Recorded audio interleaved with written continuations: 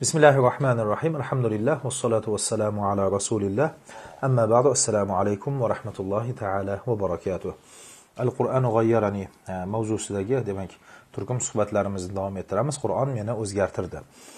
Xo'p, demak ismauna va tadabbarun degan mavzu boshlagan edik. Eshitadilar va tadabbur qiladilar degan mavzu. demak qur'onni tinglab qur'onni eshitib va qur'on oyatlarini tadabbur qilgan insonlarni voqealari biz agar e, sahoba roziyallohu anhularni yoki bo'lmasa ulardan keyingi salaflarimizni ba'zi o'tmishda o'tgan insonlarni hayotlarini e, kuzatadigan bo'lsak e, oldin masalan agar islomni qabul qilmasdan turib oldin boshqa dinda g'ayri din bo'lib turib keyin islomni qabul qilganlarni hayotlarini ko'rsak ko'ramizki bir oyat tilovat qilib masalan e, toho surasida yo falon surada yo fiston mana bu suradagi demak oyatni falon qismini o'qib turib e, hidoyatga keldi shu oyatni o'qidi shu oyatni eshitdi degan e, ma'lumotlarni xabarlarni ko'ramiz. Umar roziyallohu anhu bo'lsin yoki bo'lmasa tufayli roziyallohu anhular boshqa boshqa sahobalar demak va tobiinlar taba tobiinlardan demak oldin islomda bo'lmasdan turib keyin islomni qabul qilganlarni hayotlarida aynan mana shu misollarni ko'ramiz. Endi bugungi voqea ham aynan zamonimiz voqeasi hammamiz bilamiz. Demak bu keltirilayotgan voqealar demak e, bir fransiyalik e, fransiya millatiga mansub bo'lgan insonni aynan qur'on oyatidagi bitta kalimani sababidan islomni qabul qilganligini voqeasi. Bu voqeani demak e, ustad fi jamiati ummul quro ummul quro makka mukarramadagi ummul quro universitetini ustozlari hikoya qilib aytadilar. Aytadilarki haddasani ahadu tullabi min jinsiyatil fransiya demak e, fransiya demak fransiyadagi e, fransiya millatiga mansub bo'lgan e, bir talabam menga bu voqeani hikoya qilib berdi. Bu qanaqa voqea ediki? Ilal islam. Demak islomga o'tish voqeasini aytib berdi. U alloh subhanahu va taoloni qur'ondagi oyat kalimasini eshitgani haqida aytadiki hina sami'tu qawlahu subhanahu va taala a'udhu billahi minash shaytonir rojim ya ayyuhal insanu. Sadaqallohu azim al aya demak haligi fransiya millatiga mansub bo'lgan o'quvchi talaba aytyaptiki man alloh subhanahu va taoloni ya ayyuhal inson ey inson degan kalimasini eshitganimda. Qur'ondagi birinchi mana shu kalimani eshitganimda demak qalbim ochilishlikni boshladi. Nima uchun desa bu xitobni qilayotgan zotni ulug' zot ekanligiga qoviy qudratlik kuchlik zot ekanligini his qildim. Demak bu xitob basharni insonni hikoyasi insonni qovuli bo'lishi mumkin emas degan narsani his qildim. Ya'ni ey inson deb turib qilinayotgan xitob. Mana shu oyati karimani mana shu qismigina manga ta'sir qildi.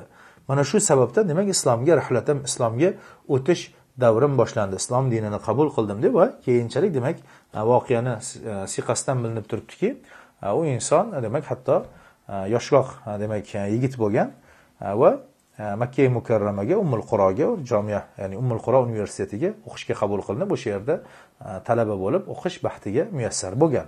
Demak ya ayyuhal inson degan qavli menga ta'sir qildi deb aytyapti. Xuddi shunday alloh subhanahu va taoloni kalomidagi har bitta oyatga diqqat bilan nazar soladigan bo'lsak hammasi bizga ta'sir qiladi.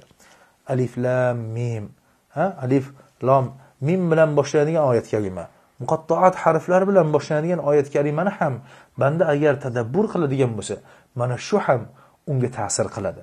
Uni hidoyatiga sabab bo'ladi. Chunki qur'on alloh subhanahu va taoloni kalomi. Alloh subhanahu va taolodan allohni huzuridan allohni kalomini har bittasida ta'sir bor.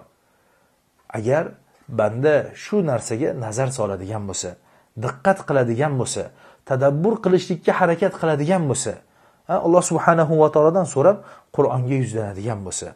Endi bugungi hayotimizni agar ko'radigan bo'lsak biz e, qur'ondan ancha uzoqlashib ketdik. E, Qur'onni tilovati biz uchun judayam bir g'arib judayam bir yuqori darajadagi narsa. E, Qur'onni maxsus kishilar maxsus toifadagilar masjiddagilar imomlar noiblar yoki bo'lmasa faqatgina qorilar o'qiydi. Qorilargina hatm qila oladi degan ba'zi tushunchada yashayotgan insonlar bor. Qur'on bu hammamizniki. Qur'on bu bizni qalblarimizni shifosi bizni hidoyatimiz. Alloh subhanahu va taolo saqlasin demak ba'zi bir insonlarni chiqib gapirayotgan gaplaridan. Bugun shunday insonlar chiqyaptiki atrofimizda qur'on bu eski eskicha. Qur'on hech qachon eski bo'lmaydi qur'on hadis. Alloh subhanahu va taoloni qavli yangi. Alloh subhanahu va taoloni qavliga hech qanaqangi zamon o'tmaydi. Alloh subhanahu va taoloni qur'ondagi biron bir oyati biron bir qavli hech qachon eskirib qolmaydi. Ya'ni bu oyatni olib tashlash kerak bu oyatni yo'q qilish kerak bu oyatni o'zgartirish kerak deb aqli kalta zaif insonlar gapiraveradi. Zaif insonlar ojiz insonlar o'zi biron bir qadrsiz bo'lgan qiymatsiz bo'lgan johilligi qalbini qumamroq olgan johilligi aqlidan ustun kelib ketib qolgan insonlar bu gapni gapiraverishadi. Ular qur'ondan nasibasiz bo'lgan insonlar qur'onni tushunmagan qur'onni mohiyatini bilmagan insonlar. Alloh subhanahu va taoloni agar qur'ondagi biron bir oyatini o'qiydigan bo'lsak hammasi bizni qalbimizga ta'sir qiladi. Biz bugun eng oddiy eng kichkina sura deb turib e'tibor qilmayotgan suralarni har bittasida ma'nolar cheksiz. Unda mo'jizalar payg'ambar sollallohu alayhi vasallamga berilgan mo'jizalar cheksiz. Alloh subhanahu va taoloni qudratini isboti cheksiz. Alloh subhanahu va taoloni buyrug'i alloh subhanahu va taoloni va'dasi bor.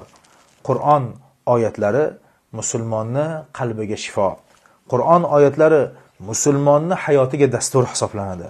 Musulmon qur'on oyatlari bilangina najot topadi. Musulmon qur'on oyatlari bilangina baxtiyor bo'ladi. Qur'onda biron bir oyat yo'qki u eskirsa. Qur'onda biron bir oyat yo'qki u oyatda biron bir kuch biron bir ta'sir bo'lmasa. Allohni har bir kalomi o'zi kabi buyuk alloh subhanahu va taoloni sha'niga alloh subhanahu va taoloni maqomiga muvofiqdir.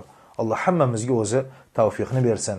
Bizni qur'on oyatlarini faqat o'qiydigan qur'on oyatlarini tadabbur qiladigan oyatlarni ma'nolariga amal qiladigan qur'on bilan turmushni go'zal qilib natijasini jannat qiladigan bandalardan bo'lishligimizni o'zi muvaffaq qilsin.